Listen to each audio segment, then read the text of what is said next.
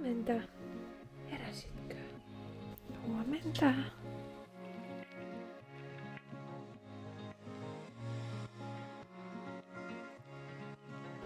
Me ollaan menossa tänään vastasyntyneen kuvaukseen ja varmaan hankalin osuus tässä on löytää housut, jotka mahtuu jalkaan, koska synnytyksestä vasta viikko, niin tää tuntuu vähän toivottomalta, mutta onneksi mulla on yleensä tosi joustavia farkkuja, niin ehkä noista jotkut mahtuu. Sovitellaan sitten koko vaatekaappi läpi. Nyt olisi perhekuvaus vaatteet kasassa. Täällä on valkoista teepaitaa, sitten on vaaleeta, tällaista vähän pellava-tyyppistä paitaa ja mulle mekkoja. Farkkua. Valkoinen ja farkku toimii aina. Okei, okay. mä mietin hetken, että suoristaisinko mä vaan nämä hiukset vai kihartaisinko, mutta sitten mä ajattelin, että kiharat kyllä näyttää kuvissa aina jotenkin paljon kivemmalle, mutta nyt musta tuntuu, että tämä oli ehkä elämäni suuri virhe. Puolet pitäisi vielä kihartaa ja musta tuntuu, että vauva herää tuolla just nyt. Mennäänkö mä kuule ulos? Pitää vähän pukea, kun siellä on aika kylmä. Alkaisi olla niin kuin muuten kuvausta varten hommat valmiina. Mä sain itseni ehostettua ja käytiin lasten kanssa vähän ulkona, mutta, mutta meillä on sellainen pieni ongelma, että ennen tätä kuvausta vauvan olisi hyvä olla hereillä jonkun aikaa, etenkin kun meiltä on pieni ajomatka sinne kuvaajan luo, niin jos hän olisi nyt hereillä, niin sitten hän ehkä nukkuisi ainakin osan siitä kuvauksesta, mikä olisi toivottavaa. Joten nyt mun täytyisi saada hänet hereille. Jaksettaisiko me olla vähän aikaa hereillä? Nukutaan sitten kohta. li- Et sä kyllä kauhean heräilevältä näytä. Onko mitään parempaa kuin viikonloppuaamu ja piirretyt? Me tosin katsotaan näitä ihan tosi tosi harvoin, ehkä maks viisi kertaa vuodessa. Mut joskus näitäkin on ihan kiva katsoa.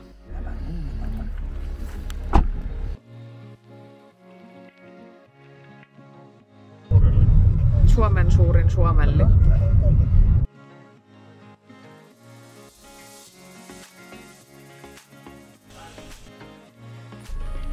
Kello on nyt 10 yli kolme. Meillä meni tuolla kuvauksessa melkein neljä tuntia. Ihan mielettömän kauan. Me mentiin ensin vaan minä ja tytöt ja vauva, kolmonen ja mies jäi vielä autoa ottamaan päiväunia siksi aikaa, kun hän nukahti tuossa matkalla. Me otettiin vaikka minkälaisia kuvia mä en malta odottaa, että mä pääsen sitten näkemään niitä valmiita kuvia. Nyt ensimmäistä kertaa mä buukkasin sekä odotusajan kuvauksen että tämän vastasyntyneen kuvauksen. Ja siis tää on ollut paras sijoitus ikinä. Nämä kuvat on ollut ihan mielettömiä. Ihana saada jonkun muun ottamia kuvia muistoksi. Ja lapset jaksot on koko kuvauksen ajan ihan tosi tosi hyvin. Mä jopa vähän yllätyin. Menikö meillä hyvin? Jaa! Tuliko hyviä kuvia? Jaa! Nyt, Minä nyt me mennään seuraavaksi sitten vähän pääsiäisruokia ostamaan ja muita pääsiäisjuttuja. Ainut vaan, että mä en ole vielä ihan päättänyt, että mitä jälkkäriä mä aion leipoa pääsiäisenä. Kaksi! Kakkarkia! Kakkua. Kakkia! No, me ostetaan niitä pääsiäismunia. Äiti leipoo jotain hyvää pääsiäiseksi. Aiotaanko me sitten myös grillata? No. Mm, ostetaan vähän jotain grillattavaa. Me tultiin just kotiin. Me käytiin tota pääsiäismunaostoksilla ja siellä ruokakaupassa ja syömässä. Ja löytyi vielä lapsille pääsiäismunia. Okei, okay, tää, tää on niin hyvää. Fatserin Karpalo Cashew Ciabatta. Sitten me ostettiin vähän tota leivontarahkaa. Nyt mun täytyisi vielä saada nämä kaikki ruuat purettua. Siis tässä on 1, 2, 3, 4, 5 kassillista. Mun piti käydä Tokmannilta hakemassa yksi tällainen täytettävä pääsiäismuna. Mä ajattelin, että mä laitan näihin lapsille pääsiäisen tuohon munajahtiin. Noi yllätysmunat. Ja sit laitan vähän tällaisia pienempiä pääsiäisherkkuja. Meillä on näitä ennestään tuolla pari, niin piti vaan hakea yksi lisää. Ja sit Tokmannilla oli kaikki pääsiäisherkut jo miinus 40 pinnaa. Mä myös näitä Dumle ja Pätkis töhnämunia testiin. Päästään maistelee, onko hyviä. Ja mitäpä olisi pääsiäinen ilman mämmiä. Mä tykkään mämmistä. Ai niin, ei. Mä unohdin ostaa mämmille vaniljakastiketta. Mämmi pitää ehdottomasti syödä vaniljakastikkeen kanssa. Ja mä en tiedä, voinko mä syödä tätä ilman sitä. No onneksi huomenna kyllä pitäisi olla vielä kaupat auki, niin täytyy varmaan hakea. Meillä mä syön mämmiä, mä tykkään siitä, ja sitten lapsista taitaa kaksi syödä.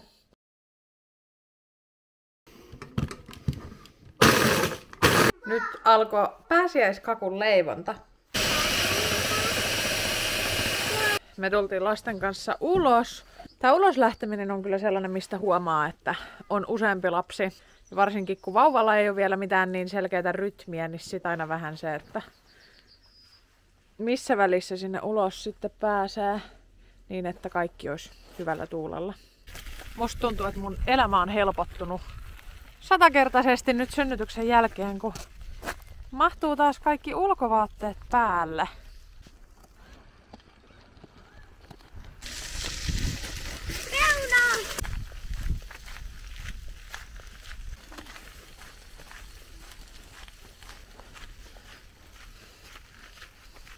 Me ollaan täällä päiväunilenkillä. Vauva tosin nyt on nukkunut jo yli tunnin. Katsotaan nukkuuko hän koko lenkkiä vai meneekö itkuksi. Synnytyksestä on nyt reilu viikko. Ja mä lähdin kyllä aika äkkiä heti tekee pieniä kävelylenkkejä. Mulle on tärkeää päästä liikkumaan. Se tekee hyvää sekä mielelle että kropalle. Mä oon käynyt muutaman kerran myös pyörälenkillä.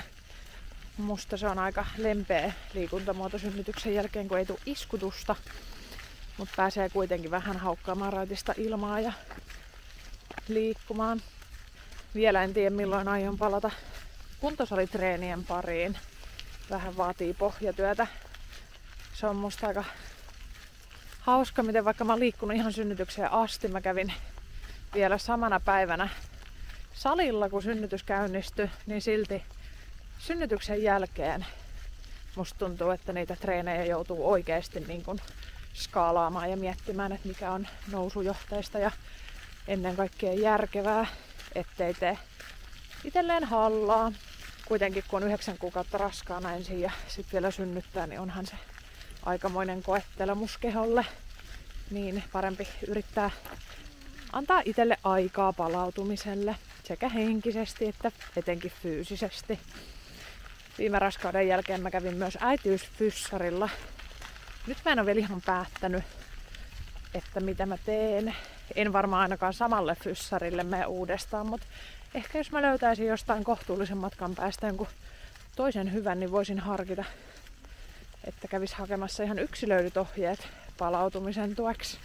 Mihinköhän asti ne lapset ehti. Tää on ongelma tässä, kun ei voi itse vielä hölkätä lenkillä ja lapset menee pyörällä, niin enhän mä pysy perässä.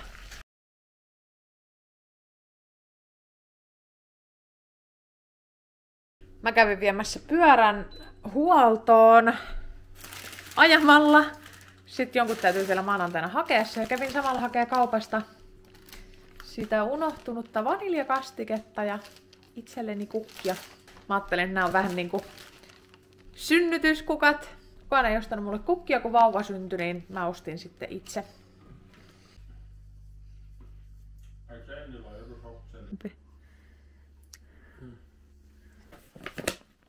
Meillä kävi tänään ystäväperhe vauvaa katsomassa ja kattokaa mitä he toi vauvalle. Täällä oli kaksi, kaksi ihanaa podia. Tällainen Nybin rippipodi. Nämä on ihan sika ihania. Ja sitten oli tällainen mikkihiirisetti.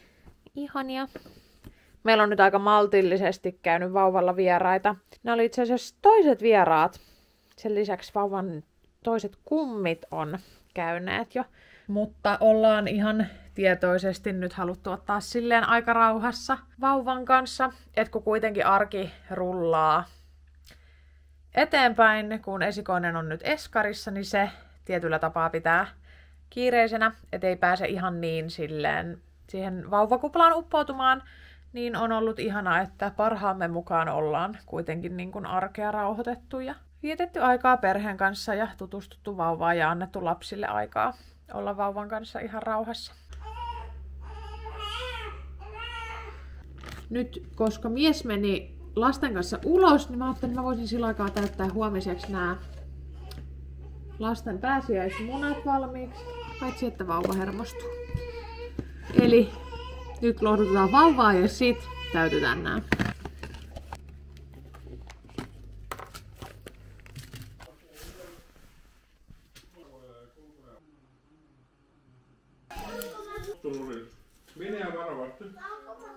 Sun pitää siitä katsoa, missä on piirretty pilkku. Missä sinun pääsiäismuna on?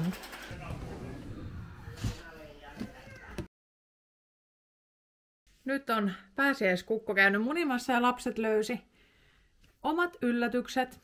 Meillä on tosiaan tollaset pahvikuoriset yllätysmunat, mitkä on nostettu Rustasta ja Tokmannilta.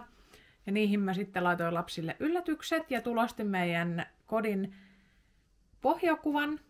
Ja siihen sitten piirsin kartan, että missä kenenkin muna oli ja he pääsivät etsimään ja olivat tosi innoissaan.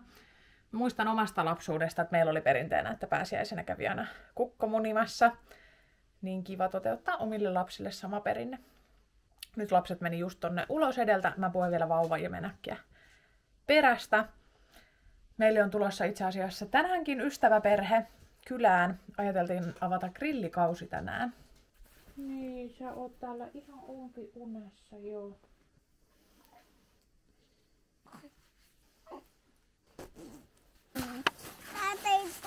Eikö sun kakku tuu sieltä purkista ulos? Heräsitkö heti kun tultiin lenkiltä kotiin? Sä nukuitkin jo pari tuntia.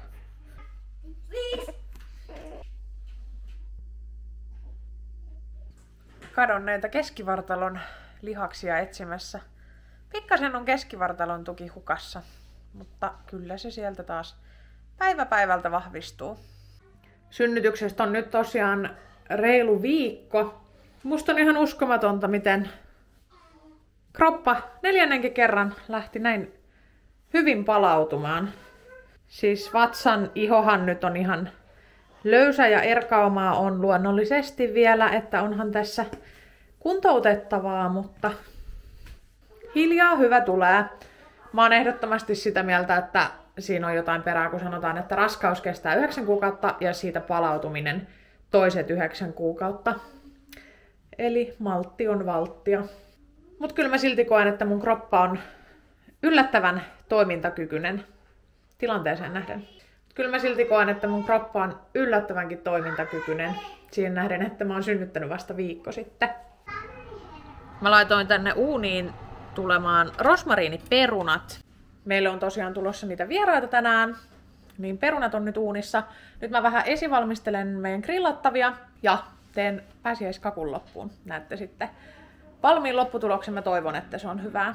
Kakku tuli valmiiksi. Mä teen tosiaan tällaista sitruunajuustokakkua vegaanisella marengilla. Sitten meidän ystäväperhe saapui meille ja me siinä grillattiin ja nautittiin päivästä. Illalla alkoi takki jo aika tyhjä, joten tämä pieni ihonhoitohetki teki todella hyvää. Olen yrittänyt vähän panostaa omaan ihonhoitoon ja se on todella sellainen pieni luksus tässä lapsiarjen keskellä. Mutta kiva, kun olit mukana meidän pääsiäisessä ja me nähdään taas seuraavalla videolla.